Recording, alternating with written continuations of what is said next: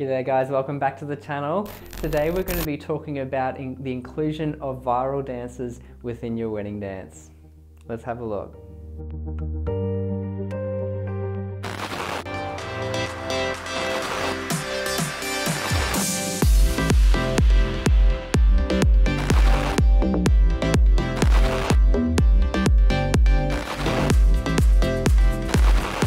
So today we're going to be talking about the inclusion of viral dance steps within your wedding dance. Now I've had a few couples come and talk to me a lot about that recently um, in particular um, and I, I'm a mixed, mixed emotions about including that. I'm very old school in terms of trying to keep a lot of class involved with your wedding dance because such a, it's, it is a serious moment um, in that you know it's such an important part of your wedding day your wedding day being one of the most important parts of your life.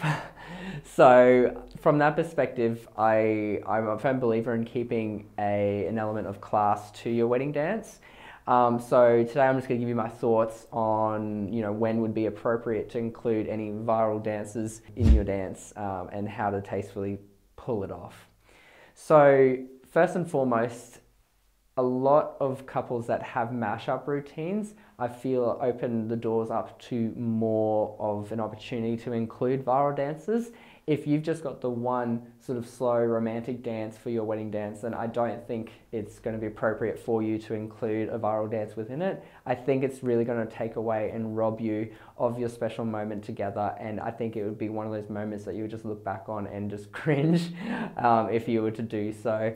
So I definitely think, first and foremost, that if you're going to have a mashup of songs put together for your wedding dance, I think that's going to be a good starting point make sure that, like I said, if you are having a mashup, don't include that in the first part of your of your dance. If it's going to be more the more slow, serious type of uh, wedding dance at the beginning, um, and then when you transition to the next song and have more of a fun sort of ending to it, then I, that will be a good starting point to include it. You don't want to sell yourself um, off though with that because you it's it's something that's just a bit like I said, to me, I think it's a bit corny, um, but at the same time, if, if you execute it properly and at the appropriate time within even the second half of your wedding dance in a mashup, uh, you can pull it off quite well and make it look quite nice. So, um, yeah, it, it's, it's one of those things, it's a big spag of emotions, like they're all fun and we like to see them, but yeah, I think there's the rest of the night for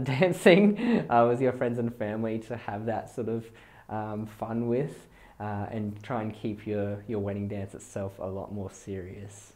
Another element to consider when wanting to include any viral dances is the music. There are a lot of viral dances out there that have been created to a certain song. Uh, and to give you an example, I had a couple uh, last year where they allocated a part of the end of their wedding dance to whatever the viral dance of the time that they got married happened to be. And at that time, the viral dance to do was, or if you can even call it that, was Drake's song "In My Feelings," where they hop out of a car and they, you know, they dance on the outside of the car as the car's moving. So what we ended up doing is, obviously, we didn't have a car in the wedding reception, but what we got to do is we got to pretend that she was driving and like he was on the outside of the car on the other side of her like doing it like getting along with it. So um, that can work.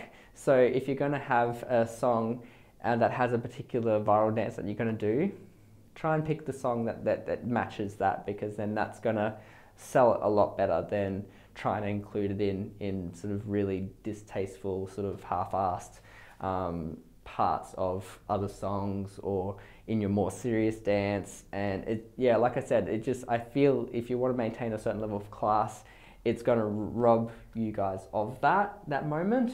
Uh, and it's going to show everyone that you're not taking it very seriously especially in that more romantic side of the of the wedding dance. Um, again like i said in the in a mashup where you've got other more fun dances and songs towards the end look, you can get away with it, absolutely. But um, yeah, try not to include it in the first part, more serious romantic sides, side of the dance.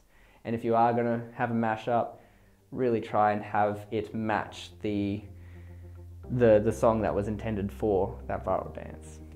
Well, that does it for today's video, guys. Uh, thanks very much for listening. I hope you got a bit out of that. It'll sort of help you make up your mind as to whether or not you want to include a viral dance in your wedding dance. Um, try and keep it classy, have a bit of fun when you're supposed to, but don't rob the romantic moments uh, of the more serious side by including something that's a bit tacky uh, in that. So uh, I hope you enjoyed the video. If you haven't already, please like and subscribe. Hit that notification bell so you get a notification every time I upload. And I'll see you when I'm looking at you. See you guys.